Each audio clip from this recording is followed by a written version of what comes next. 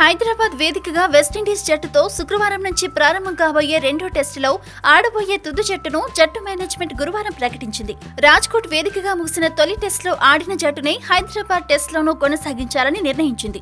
ఈ సిరీస్ ద్వారా అంతర్జాతీయ టెస్టులో అరంగేట్రం చేయాలనుకున్న హైదరాబాద్ పేసర్ మహమ్మద్ సిరాజ్కు మళ్ళీ నిరాశ ఎదురైంది. మరోవైపు హనుమ విహారీ మయాంక్ అగర్వాళ్ళకు కూడా చోటు దక్కలేదు. బీసీసీఐ ప్రకటించిన పన్నెండు మంది ఆటగాళ్ళ జాబితాలో తెలుగు రాష్ట్రాల ఆటగాళ్ళు సిరాజ్ విహారీల పేర్లు లేకపోవడం విశేషం. ఇక ఈ ఇద్దరు ఆటగాళ్ళు తొలి టెస్ట్లో సైతం బెంచ్కి పరిమితమైన విషయం తెలిసిందే. ఈ నేపథ్యంలో సెలెక్టర్లు ఎన్నిసార్లు తనను నిరాశపరిచినా అద్భుత ప్రదర్శన చేస్తున్నప్పటికీ మళ్ళీ మళ్ళీ తనని ఎందుకు ఎంపిక చేయరని మయాంక్ అగర్వాల్ ప్రశ్నించారు. నిజానికి టెస్టులో విండీస్ జట్టు గట్టి పోటీని కూడా ఇవ్వడం లేదు. ఐదు రోజులు జరగాల్సిన మ్యాచ్ రాజ్కోట్ టెస్ట్ కేవలం మూడు రోజులకే పరిమితమైన సంగతి తెలిసిందే. ఇక హైదరాబాద్ వేదికగా శుక్రవారం ప్రారంభం కానున్న రెండో టెస్ట్లో సైతం వెస్టిండీస్ ఐదు రోజులు ఆడే పరిస్థితి కనిపించడం లేదు.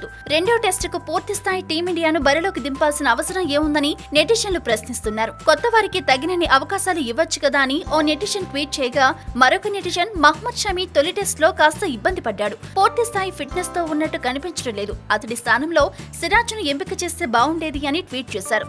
ఇంకా దీనిపై స్పందిస్తూ చాలా మంది నెటిజన్స్ ఈ విధంగా ట్వీట్ చేశారు.